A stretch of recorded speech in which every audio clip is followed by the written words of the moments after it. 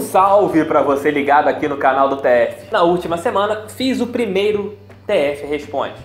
A galera pediu, faço novamente. Vocês mandaram as perguntas através do meu Twitter que está passando aqui embaixo e eu vou respondê-las para vocês.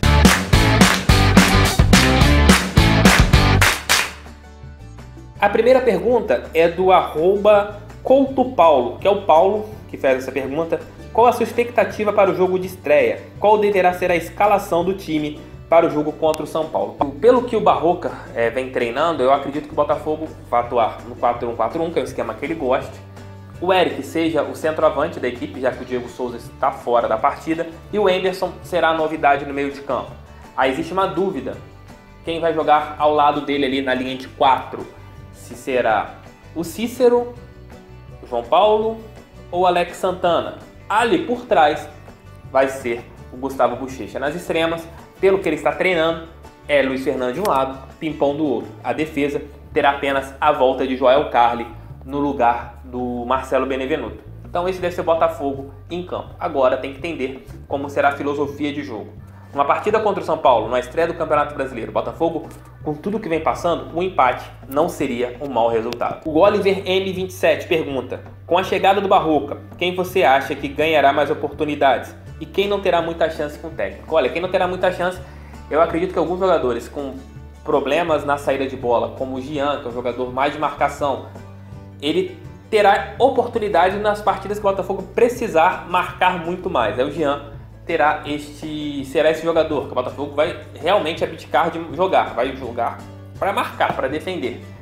Acredito que o Gian perderá mais espaço ali com o Eduardo Barroca. E quem vai ganhar oportunidades? O Bochecha já ganhou, deve ser o titular, e o Enderson.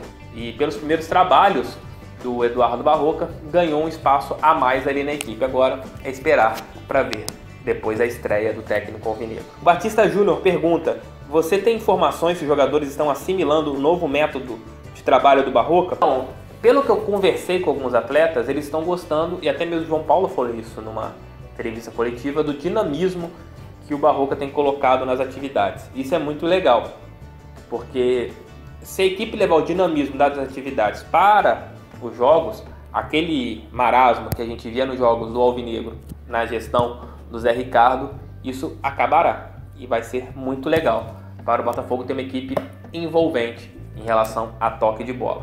E sábado contra o São Paulo, que é uma equipe ainda que não está estruturada taticamente, é um jogo que vai se equivaler um pouco, vai dar uma. É, vai ser equivalente à partida contra o São Paulo. Então, se o Botafogo souber achar os momentos, o Barroca tinha uma coisa muito interessante na base, que eram os contra-ataques rápidos. O Botafogo souber encaixar um contra-ataque, com o Eric jogando ali de centroavante, vai ficar bom para o Botafogo essa partida de estreia no Campeonato Brasileiro. O Barcelos Silas, o Silas pergunta aqui para mim: qual a minha expectativa para o brasileiro com salários em dia? Esse time pode brigar por algo a mais? Foi o que eu disse no vídeo de ontem. É, o Botafogo é uma incógnita, né? Porque a gente não sabe o que, que vai ser colocado dentro de campo, o que, que o Barroca vai conseguir fazer com a equipe alvinegra. Mas caso ele consiga mostrar o que vem demonstrando nas atividades, essa esse tipo de velocidade, esse trabalho de muita força, o Botafogo pode fazer o Campeonato Brasileiro tranquilo, sem sustos. Brigando ali entre 11 e 8 lugar. Acho que mais para frente o Botafogo não tem elenco. Talvez, se a equipe encaixar pelo nivelamento do Campeonato Nacional, o Botafogo possa brigar por uma vaga numa Libertadores caso tenhamos um, uma chuva de vagas. Mas numa situação normal, com seis vagas, o Botafogo pega uma, uma possibilidade sul-americana em 2020. E esse ano brigaria com a equipe jogando bem pelo título da Sul-Americana. Mas isso é tudo achismo. Vamos esperar o jogo de sábado para a gente ter uma real noção do que o Barroca está preparando para o Glorioso. Opa, você chegou até aqui e não deixou o like? Poxa, deixa aquele like maroto, não custa nada se inscreva no canal se você não é inscrito. Compartilhe na sua rede social favorita. Se você já é um frequentador assíduo aqui do canal do TF, ative o sininho para vocês saberem que horas eu estarei aqui, porque todo dia estou aqui com um vídeo novo. Continuar com as perguntas. O Thiago Zelda, o underline Thiago Zelda me pergunta: Quem é Marcelo Guimarães do Botafogo? Sei apenas que foi candidato a presidente do clube. Seria uma opção futura? Ele já foi candidato nas duas últimas eleições. Ele tem um grupo político. Ele trabalhou na administração Maurício Assunção como é, gerente de marketing do clube. Teve uma aceitação boa, principalmente por parte da torcida. Ele faz parte do grupo Grande Salto, agora me lembrei que é o nome do grupo político dele, e será com certeza candidato para o próximo triênio do Botafogo. Mais do que isso, não sei. É, igual eu falo, falar de política é muito complicado porque todo falar assim que eu tenho proposta, mas na hora tem que saber como que será, entendeu? Como que seria colocando isso lá dentro. É difícil, é difícil. Todo mundo tem solução, por isso que eu sempre prego. Se você tem uma solução para o Botafogo, bate lá na porta, se você faz parte de algum grupo político, tenta a união, não se separe, se una, porque o Botafogo precisa disso. E aqui o momento é terrível para o Botafogo, terrível. O Bruno Horta fez a pergunta parecida com a do Paulo Couto, em relação à escalação e sobre o Diego Souza. Se, ele, se o Barroca pensa em mantê-lo como centroavante. Sim, ele pensa em mantê-lo, Diego, como centroavante, porque ele teria que fazer uma mudança estrutural no time para jogar no 4-2-3-1 com o Diego Souza sendo o armador principal. No 4-1-4-1 você não precisa daquele armador, você precisa de meio campo que tenha qualidade de passe. Então, para um time que tem essa limitação que o Glorioso tem de um armador clássico, o 4-1-4-1 talvez seja uma solução, mas sabendo escolher as peças. Pergunta que acho que muitos torcedores estão fazendo, né? O recorrente, o RJK Fogão me pergunta: qual a real situação financeira do clube? Acredita que é verdade que sem mudanças estruturais o clube vai falir? Ou acha que não chega a esse ponto? Falir eu acho difícil, acabar é impossível pela torcida que o Botafogo tem. Mas é gravíssima a situação financeira do Botafogo, é muito grave, é muito grave. Se não houver uma mudança estrutural de filosofia, de pensamento, de gestão, isso em todas as áreas, o Botafogo, cada dia que passa, vai ficar mais atrás de seus rivais. Principalmente daqueles que possuem poder aquisitivo maior. Então, a mudança tem que acontecer de filosofia, de pensamento, acabarem os pensamentos políticos, acabarem é, meu grupo é bom, seu grupo é ruim, eu vou me separar, eu vou me unir. Enquanto isso não acabar no Botafogo, o clube vai se apequenar.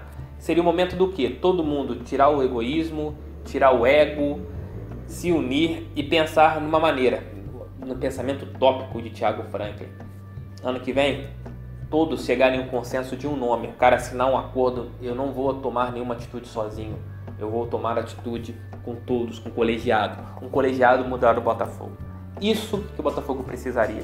Unir todas as áreas, unir todas as forças, pegar o melhor de cada é, grupo e colocar nas áreas chaves. Só assim que o Botafogo poderia ter uma solução. Mas, como isso é uma coisa utópica, vamos continuar sofrendo com essa situação financeira que é calamitosa. Gabriel Correia pergunta, é, me pergunta: sem chance do Leandrinho e do Ezequiel voltarem para disputar brasileiro sul-americano? Não, trato. Os dois têm contrato com o esporte até o final do ano. O Leandrinho tinha até agora no campeonato estadual, mas existe uma cláusula de prorrogação do contrato e essa mesma será feita. Então os dois só para o Botafogo, só voltariam para o Botafogo em 2020. O Ezequiel fez um baita de um campeonato pernambucano. E a última pergunta escolhida, galera, é, para não ser uma coisa tão chata, não estou escolhendo muitas perguntas. Carlile Barra, Barral pergunta: Quais os dois jogadores que jogaram pior no primeiro jogo da final do Brasileiro de 92 pelo Botafogo? Eu tinha 10 anos, né? Então eu naquele momento eu não tinha tanta noção de futebol. Mas depois vendo o tape dessa partida, principalmente até mesmo para fazer o vídeo que eu fiz sobre o Renato Gaúcho, olha, o Odemilson fez uma péssima partida no lado direito. Péssima partida, tomou um baile.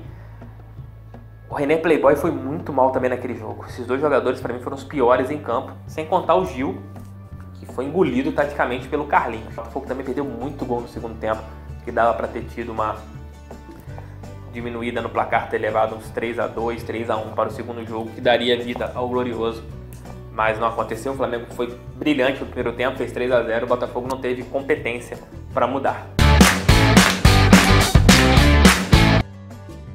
Espero que vocês tenham gostado desse vídeo.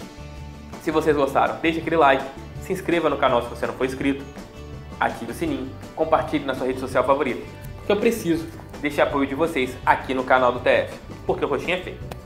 Mas o conteúdo do canal é para agradar você, que é o mais importante. Aquele abraço!